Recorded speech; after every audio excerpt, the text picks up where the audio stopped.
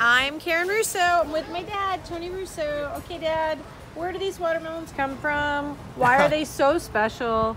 Well, I think everything that comes from uh, Ray Vincent's farm is special, including the watermelon, which he has Including the watermelon. with thousands of acres of watermelon. He starts growing in South Carolina and he finishes it at his big farm in Delaware.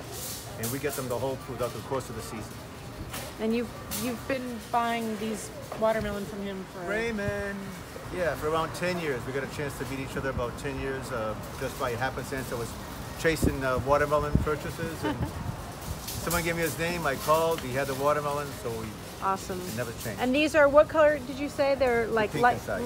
pink, to inside. red. That's pink why to red. He pinks, he picks them so that they always come perfect. Pink to red, always fully mature, nice and sweet. Is there a tip to knowing if watermelon is ripe? I, I hate to say, but some people get to go to a thump. So some people have a, a duller thump means it's a little riper, and a, a a higher thump means it's not quite as ripe. I never knew that. Well, I'm not so sure it's the truth, but anyways, there's people. But use- I do notice the method. difference. Yeah, there is a difference. Yeah. And it's not the placement of the watermelon. If we swap them, be, this will still be have that little little high thump. Thanks for the Tony's tips, Dad.